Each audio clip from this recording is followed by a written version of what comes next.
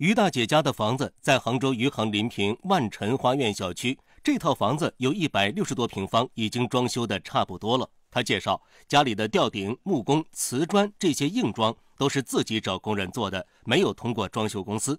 全是自己家造的那种，是三层楼的，不是这种套房。啊，那就楼房是第一次住。嗯，这个这种套房是第一次住，应该说。九月份，于大姐订了两个卧室的木地板，品牌是室友地板，木种是刺槐，每平方四百多块。是实木的吗？不清楚，不懂。怎么选中这个的呢？就是看看这个颜色吧，还行。看看这个板材，不是很贵的嘛？这个四百零八块这价格来说，应该是不便宜的。我们想，就第一次分到这么大的房子，总想弄好一点，还这么想嘞。先看这么贵的嘛，总总好了，这样想的了。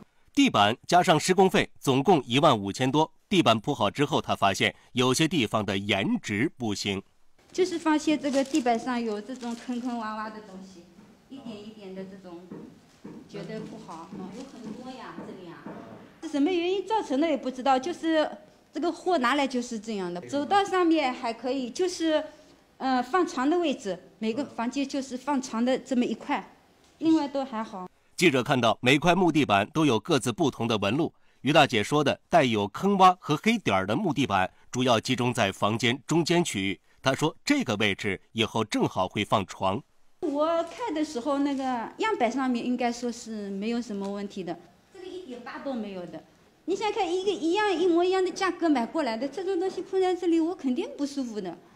我本来想想看，也是四百多，对啊，床下面也是一样的价格。于大姐希望把不好看的木地板换掉，找到商家杭州居然装饰材料有限公司。工作人员介绍，于大姐买的是天然实木地板，让于大姐不舒服的坑洼、黑点儿是树的章节。我送到他们家，她老公现场在看着师傅铺，他认可才铺下去的。而且天然实木它是存在脏气的，一千多的。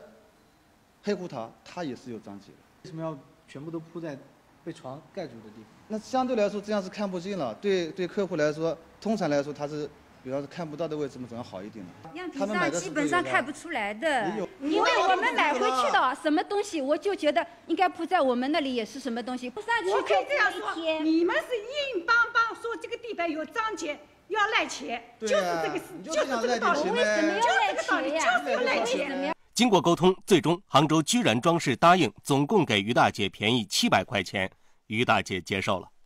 有报黄健记者报道。